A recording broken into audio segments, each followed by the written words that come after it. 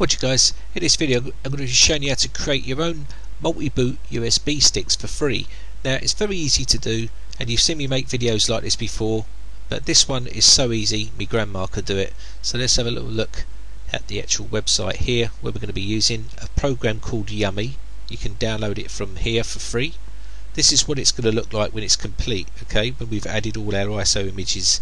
It does all the work for you. Just hit this big blue button and download it. It's not that big. So let's get cracking on the uh, video. So we're going to click run here. Then I'm going to agree to that.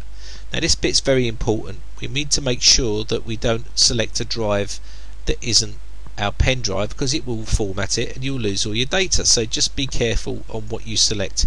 I would not put the tick in here to say show all drives because it could be the fact that you're going to select the wrong drive. So I'm going to select F and this is my pen drive but I'm not going to take that word for gospel there. I'm going to actually have a look and check and I can see that it is my pen drive because I've gone into my computer and I can see it there okay? So you can see I've got a very small pen. That's the only one I had available that was free. Uh, all the others are full. So I can see this one's empty and it's only 500 megs. Now I suggest you use something like a 4 gig pen or an 8 gig pen or even higher whatever you want to do okay? So let's get started so I've got my F selected there. Now you can look down on the list and there's loads and loads of different uh, distros or ISO images. Okay. Now if I wanted to download Linux, uh, Linux Mint, I can do that. Now you can see that it's showing up red here and that's because we don't have the ISO image on our desktop. If I did it would be green now you can actually browse to an ISO image if you have got it on a drive or something like that. You can browse to it and it will find it and then it will turn green and you can use that. If you haven't got it, don't worry. You can put a tick in here and download it at this location. I'm going to try to download something a little bit smaller than that because I haven't got the time. So let's have a little look. Uh, you can see loads and loads of tools here. Um, maybe DBAN, that's very small. Okay, so DBAN I'm going to try to download.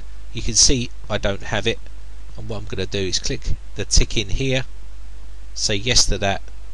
It will take me to the page and then it will allow me to download the ISO image and you can see it's down the bottom. I'm going to click yes to this close this off and it will then come down okay? We can then put it on our desktop which I'm going to do. Okay so it's now on my desktop as you can see. And uh, what we'll do now is if I click on it now you can see it's now gone green and that's because we've got it right there. So I'm going to create this. Click, on create.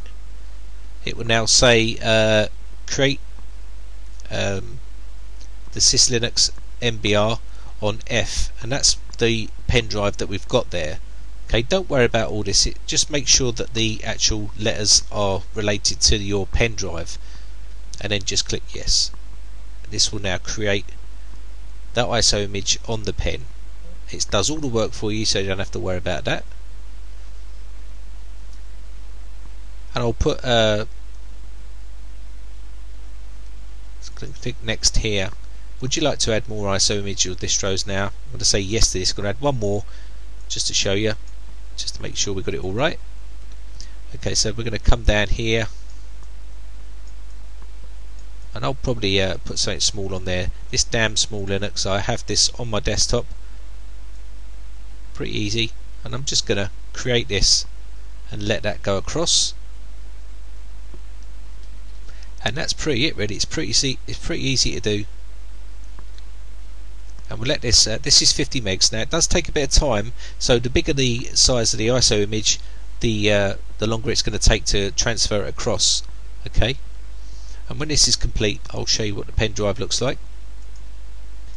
As you can see there it's using uh, 7-zip as well. Now I don't know if you have to install that. Maybe you do but I've got that installed. So if you do have that installed then you're pretty much good to go you can use the uh, forum there to uh, the actual website there to read up on it but I've got that already installed. If you haven't maybe install that and it will then look like this. Okay so that's now transferred that across. You can see all finished. I'm going to click next and it will say would you like to add more? I'm going to say no for this time okay? And now it's going to say finish. Okay so let's have a look at the uh, pen drive. And as we can see this is our multi-boot inside here and this is our pen. It's created all of that there. We've even got the uh, background there. You could even change that if you wanted to so you don't have to have it as YUMI if you didn't want to but that that will mean a little bit more work for you. But as you can see it's created it all for me and I could actually then add to this if I wanted to okay?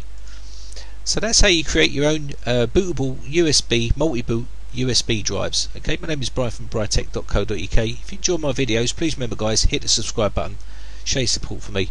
Also if you've got any problems with your computers head over to the forums. The link is down below and I'll uh, help you fix your PCs there for you for free. Okay? So thanks again guys. Thanks for watching. Bye for now